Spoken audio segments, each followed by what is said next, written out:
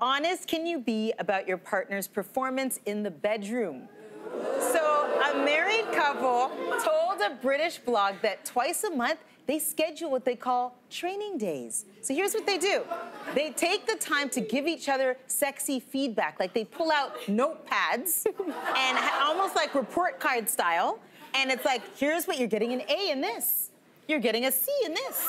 Okay, I flunking out on this. I have to say, what? I can't wait to know, like, because I know Cynthia, you have thoughts on relationships and sex, but I, I will say this, like, I guess whatever works for couples to keep up a certain kind of communication. Mm. It's just really weird to me that that communication and critique isn't exchanged immediately after or during because like I can tell you right now, like I can tell you right Jacek always knows for me whether or not he's hit a home run or whether or not he's strike like it's a strikeout. Yeah. I mean, yeah. it is it is very clear yes. from my reactions to yeah. the act. Yes. Right? Yeah, he's getting the rating in real you time. You either check the box or you yeah. don't. Yeah. yeah. yeah. I like that. Yeah. I like it. I will say though, I I rate myself sometimes. Like I'll be, I'll say like, you know, oh sorry, honey, I was pretty lazy, and I'll just kind of cut it off at the pass. I'll just declare it, whatever. And then he says the correct thing, which was no, it's sweetie, it was great anyway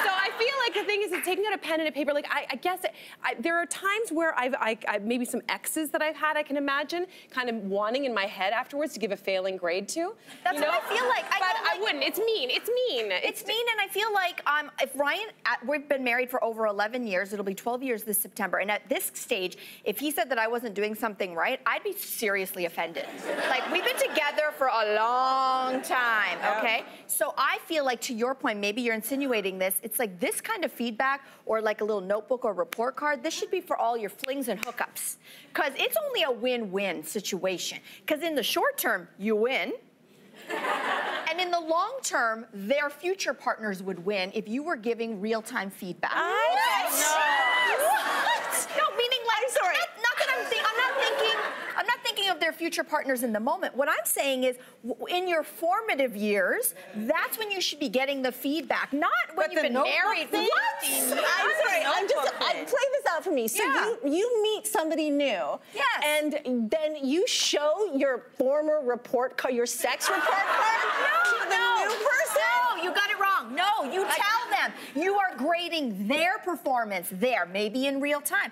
If you have a new hookup, that is the time to be like, whoa, where have you used that and did it ever actually work? Because that was ridiculous. But they're gonna want to grade you too. They're gonna want to grade you too. So like this is where it gets into like I'm amazing. What was there to grade? No. Right? I'm kidding. I'm no. kidding. Okay. I'm kidding. All right. I'm kidding. Okay, please, let's uh, move on. That's a terrible idea. Yeah.